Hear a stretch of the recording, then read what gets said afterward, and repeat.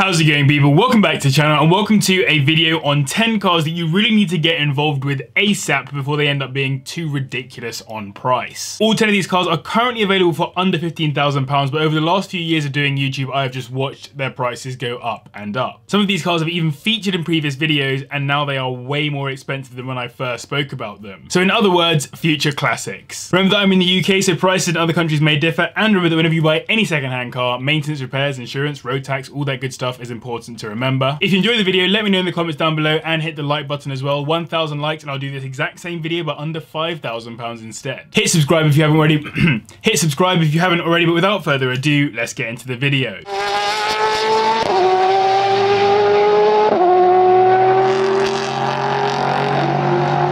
Many people love the Honda Civic, but the Type R that has really gone up in value is the DC5 Honda Integra, which has the K20A 2-litre inline-4 engine, putting out 214 brake horsepower, taking it from 0 to 60 in 6.5 seconds. The DC5 is the 4th generation Integra, and in the US you'll know it as the Acura RSX.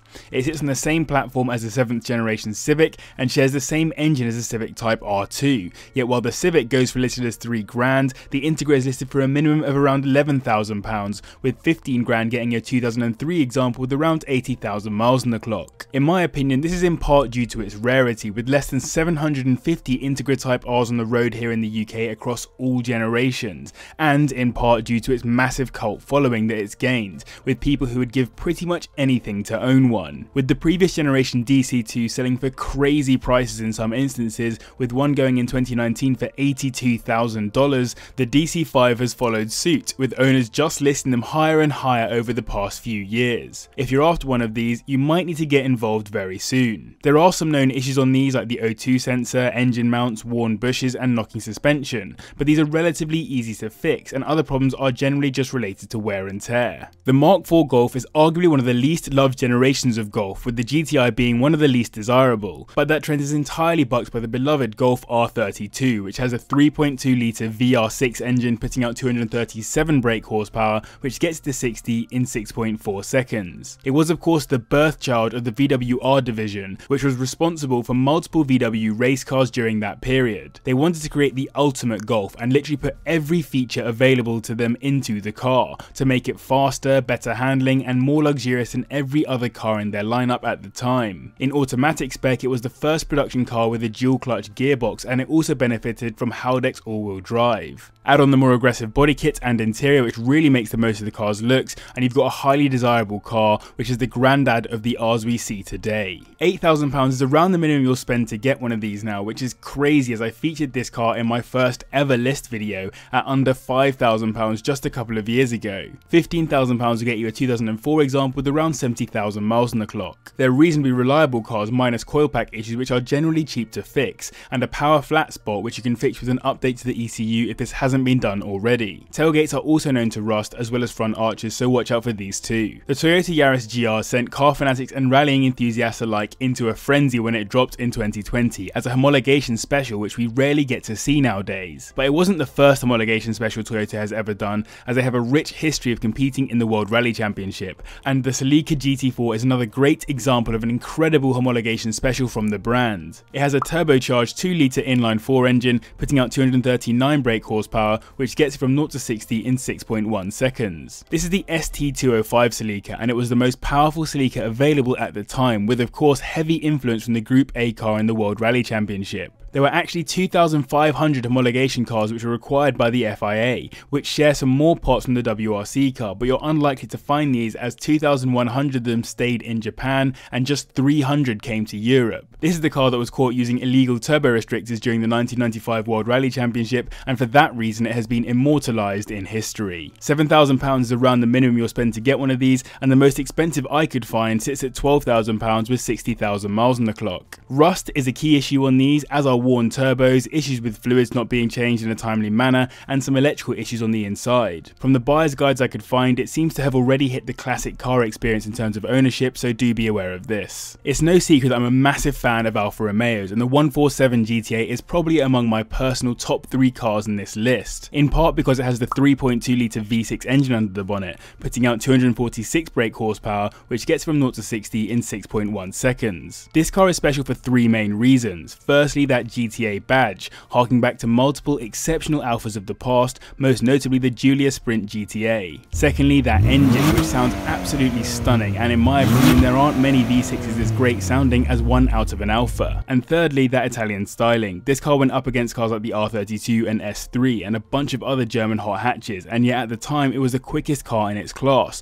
while arguably remaining the most beautiful. It wasn't hugely popular in terms of sales though, and there are just over 180 of them left on the roads here in the UK, with registered numbers falling year on year and SORNed examples on the up. People are already putting these in storage and saving as investment pieces, so it won't be long before these become entirely unaffordable. £11,000 is the minimum you'll spend to get one of these and it will likely be an automatic, while for £15,000 you get a 2005 manual with around 65,000 miles on the clock. Check the history on the example you're after, make sure it's had cam belt changes on time and the water pump swapped from plastic to metal as these are key problems. Electrics are known for going wrong on these too, so worth looking to see what's working when buying yours. In my opinion, the X100 Jaguar XKR just gets prettier every time I look at it. You can get either the older 4 litre or more recent and slightly rarer 4.2 litre supercharged V8, which puts out 400 brake horsepower, taking it from 0 to 60 in 5.2 seconds. This was brought out as a Grand Tourer, with the XK8 being the slightly less sporty or powerful example to the XKR. It's derived from the XJS and shares its platform with the Aston Martin DB7, and is inspired to some degree by the legendary E-Type Jag. My fear is that one day, if we're still able to drive petrol cars, the XKR gets even half the classic status of the E-Type and just soars in value. They're already on the up as these used to be easily available under £5,000 and are now at a minimum of around £6,000 and for 15 grand looking at a 2003 example with around 50,000 miles on the clock. There are a bunch of special editions too which are becoming highly valuable already, like the Victory Edition and the Silverstone,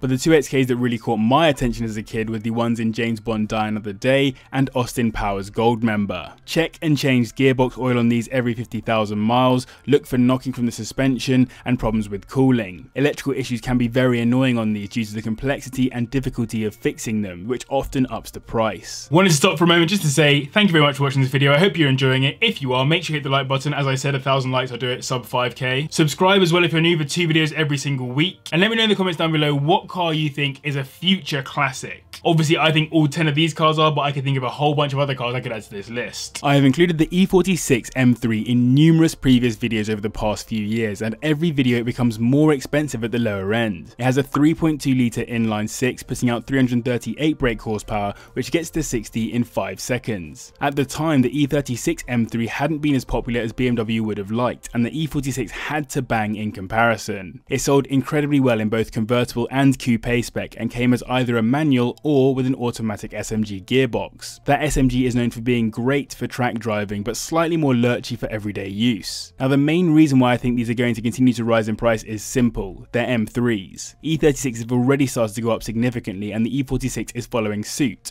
with the CSL and CS special editions already worth a small fortune. In the BMW world, M3s are staple cars and collectors will already have perfect examples hidden off the roads to make a sweet buck in future. £10,000 is around the lowest price you'll find these available for for, and for £15,000 you're looking at a 2006 model with around 90,000 miles on the clock. Cracks in the rear subframe, head gasket and Vanos issues, knocking suspension, and the SMG box suffering slow changes are key problems I noted on forums, and electrics can go wrong from water damage on these, so just some stuff to be aware of. When the 996 Porsche 911 hit the market, Porsche purists generally didn't like it. They didn't like the headlights and they definitely didn't like the fact that it was water cooled. However, now they're starting to hit classic status, particularly the more desirable examples, which is lifting the prices of the cheapest Carreras, which you'll now see for a minimum of around £11,000, with 15 grand getting a 2002 example with around 80,000 miles on the clock. You'll get a 3.6 litre Boxer 6 for your money, which puts out 320 320 brake horsepower and gets the car from 0 to 60 in 4.8 seconds. It was developed alongside the new entry-level 986 Boxster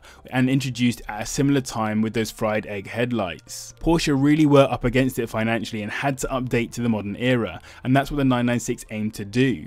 And though it did upset purists, it helped with sales significantly. The residual values were poor and these dropped massively on the second-hand market, as with all 911s and pretty much all classic Porsches full stop, purists have fallen back in love with them and the increasing second-hand prices reflect that. Name a classic Porsche from any generation before the 996 and it's already worth 30k plus, so I can't imagine it'll be long before these go the same way. IMS failure is the main problem to be aware of as a full engine rebuild will set you back around 10 grand easily, and outside of that there are a few other basic issues that are well documented by Porsche Club GB. Be aware that repair costs on these are high if they do go wrong, so have a rainy day fund ready. I have wanted a BMW Z4M for quite some time now, particularly in coupe spec, as a beautiful looking car on its way to classic status. It has the same basic 3.2 litre inline 6 engine as the M3 mentioned previously with the same specs, but it does 0 to 60 in 4.8 seconds, 2 tenths faster. Now the previous generation Z car, the Z3M, is already at classic status, with the coupe being the more desirable example, with prices up to £40,000. This has dragged up the prices of convertible Z3Ms too. I imagine the same thing is currently happening with the Z4M,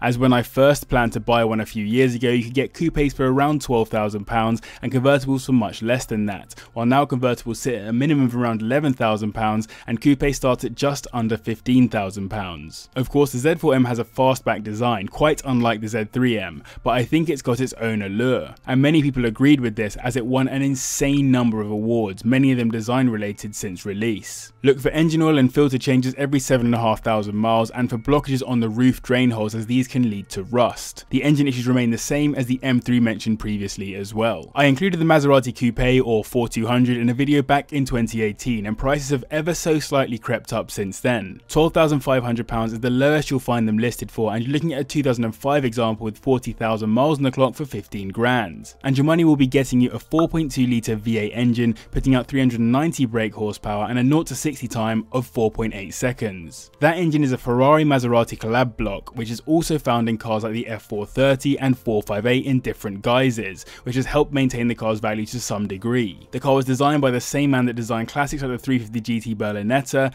Giulia Sprint GT and DeLorean and in my opinion it is a very timeless design, which will still look good in years to come which is why I think it's now on its way back up in price with the most expensive examples available for above 20k already. Its predecessor the 3200 has already gone up in value pretty well and I can't imagine either the 3200 or 4200 dipping in value given their steady recent rise. There aren't any majorly common mechanical issues surrounding the 4200 but build quality is known to be pretty poor. If you can get a newer example they are subject to better quality control from Ferrari and Maserati so worth spending a bit more for something more recent. Replacement parts aren't horrendous too considering the badge. The Porsche for example is far more pricey. Taking the top spot is the 875kg Vauxhall VX220 as it's so called here in the UK or the Opel Speedster for my viewers on the continent. Specifically with the 2 litre turbocharged inline 4 engine which puts out 197 brake horsepower, the least on this list but the quickest 0 to 60 time of 4.7 seconds, hence I've given it the top spot.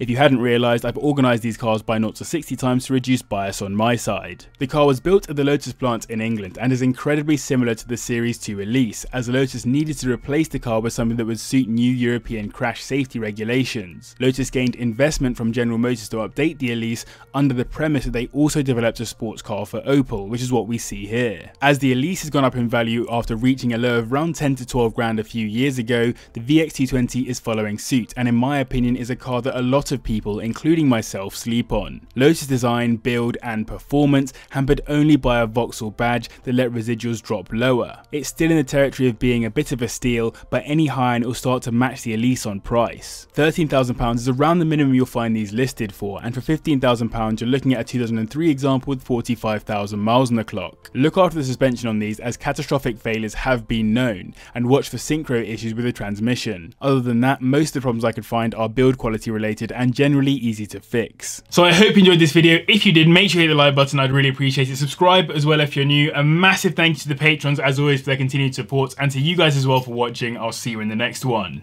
Listen.